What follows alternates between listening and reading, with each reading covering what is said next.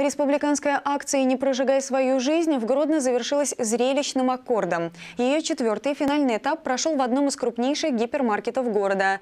Мероприятие было спланировано так, чтобы вызвать интерес и привлечь внимание как молодежи, так и людей старшего поколения. Работники Белорусского общества Красного Креста не только рассказали, но и наглядно продемонстрировали мастер-класс по оказанию первой помощи.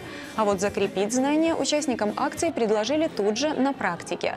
Волонтеры с загреб загримированными лицами и табличками «Курил в постели» наглядно демонстрировали причинно-следственную связь между вредной привычкой и ее последствиями.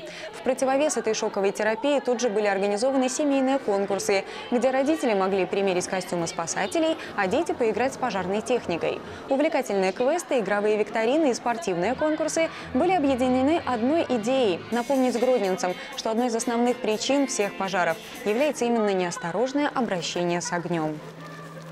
Мы в первую очередь хотели обратить внимание на пожаре по причине э, курения в постели, э, зачастую бывает и в нетрезвом состоянии. Дело в том, что из 38 погибших на территории нашей области 34 погибли именно по этой причине.